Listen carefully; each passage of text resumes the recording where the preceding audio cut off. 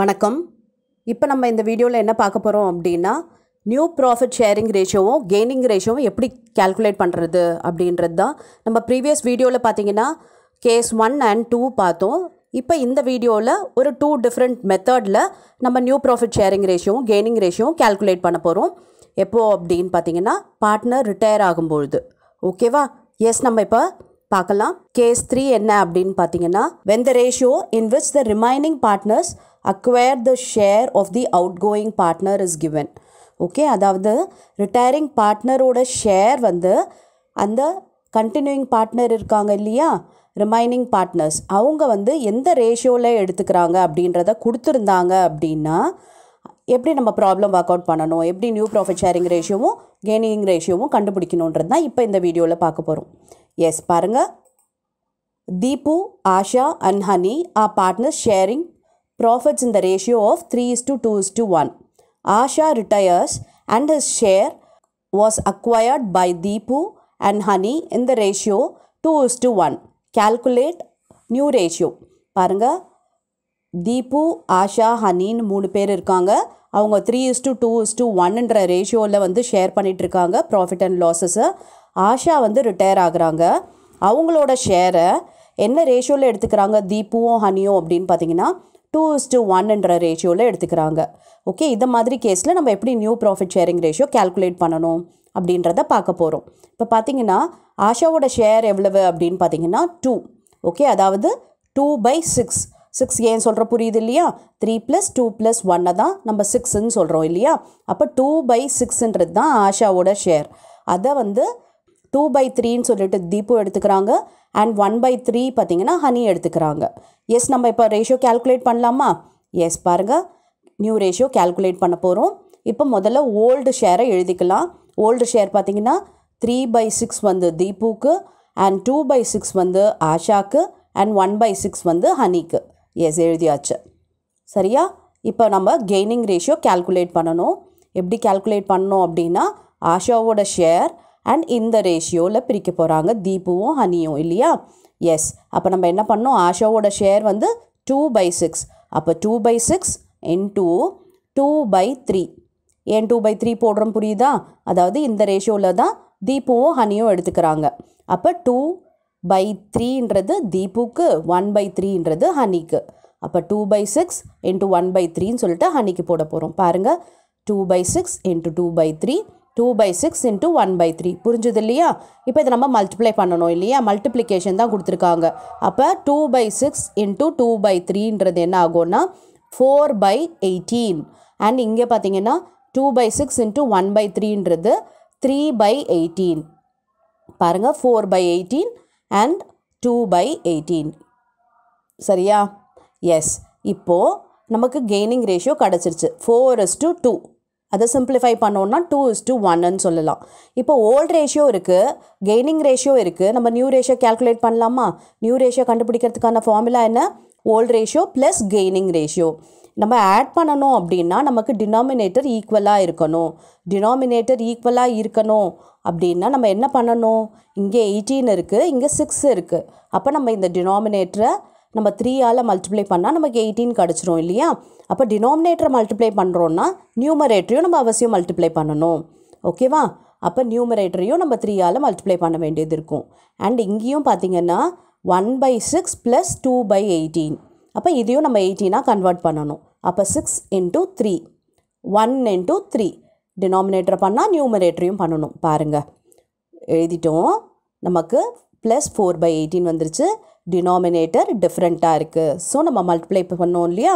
அப்போ three into three nine six into three eighteen அப்போ nine by eighteen plus four by eighteen இங்கே பார்த்தீங்கன்னா three by eighteen ஏன்னா நம்ம மல்டிப்ளை பண்ணுறோம் இல்லையா? த்ரீயோட இங்கே அப்படியே தான் வரும். ஏன்னா நமக்கு டினாமினேட்டர் எயிட்டீன் தான்.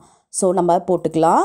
மல்டிப்ளை பண்ணதை பாருங்கள் nine by eighteen plus four by eighteen இங்கே three by eighteen plus two by eighteen denominator equal ஆகிடுச்சு இப்போ நம்ம வந்து நியூமரேட்டர்ஸை ஆட் பண்ணிக்கலாம்.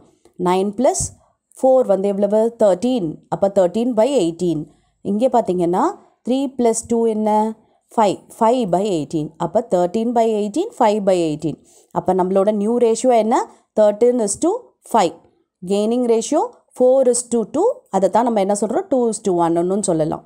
ஓகே இப்போ நியூ ரேஷியோ பாருங்கள் தேர்ட்டீன் இஸ் டூ ஃபைவ் புரிஞ்சுது இல்லையா எஸ் இப்போ இன்னொரு ப்ராப்ளம் பார்க்கலாம். உங்களுக்கு இந்த கான்செப்ட் ரொம்ப ஈஸியாக புரியும்.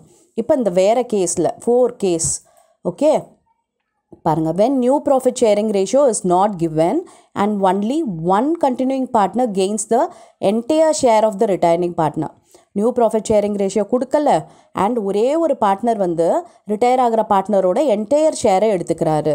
அப்போ நம்ம எப்படி கால்குலேட் பண்ணுன்றது தான் இப்போ இந்த ப்ராப்ளமில் பார்க்க போகிறோம் பாருங்க A B and C are partners sharing profit and losses in the ratio of three is to three is to two C retires and share is taken up by A பாருங்க சின்றவர் retire ஆகுறாரு. சியோட share எவ்வளவு? Two by eight ஏன்னா three plus three six six plus two eight இல்லையா? அப்போ two by எயிட்ன்றது தான் சியோட ஷேர் அந்த சியோட ஷேரை மொத்தமும் யார் எடுத்துக்கிறாரு? ஏ எடுத்துக்கிட்டாங்க. Okay calculate the new profit sharing ratio and gaining ratio of A and B இப்போ ஏ அண்ட் பிலாம் கிடையாது. வெறும் ஏக்கு மட்டும்தான் கெயின் பிக்கு ஒன்றும் இல்லை. பிகாஸ் சியோட மொத்த ஷேருமே ஏ எடுத்துக்கிட்டாரு. எஸ் நம்ம இப்போ இந்த ப்ராப்ளம் போடலாமா? ஓகே முதல்ல நம்ம ஷேர் எழுதிக்கலாம். Old ratio three by eight three by eight two by eight okay பாருங்கள் எழுதியாச்சு. Three is to three is to டூவை three by eight three by eight two by எயிட்னு எழுதியாச்சு. இப்போ next gaining ratio gaining ratio யாருக்கு போக போகுதுன்னா ஏக்கு தான் போக போகுது ஏன்னா சியோட மொத்த ஷேரையுமே ஏ எடுத்துக்கிட்டாரு. சியோட ஷேர் என்ன பாருங்கள் டூ பை எயிட் அப்போ அந்த டூ பை எயிட் எல்லாமே ஏக்கு போட வேண்டியது தான் ஓகே சியிலேருந்து எடுத்துடுறோம். ஓகே ப்ராக்கெட்டில் போட்டோன்னா அதை மைனஸ் பண்ணி காட்டுறோன்ற மாதிரி ஓகே பிக்கு ஒன்றுமே கிடையாது. ஏன்னா எத் மொத்தத்தையும் யார் எடுத்துக்கிட்டா? ஏ தான் எடுத்துக்கிட்டாரு. அப்போ நம்ம இதை என்ன பண்ணலாம்? ரெண்டுத்தையும் ஆட் பண்ணோன்னா நமக்கு நியூ ரேஷியோ கிடச்சிரும்.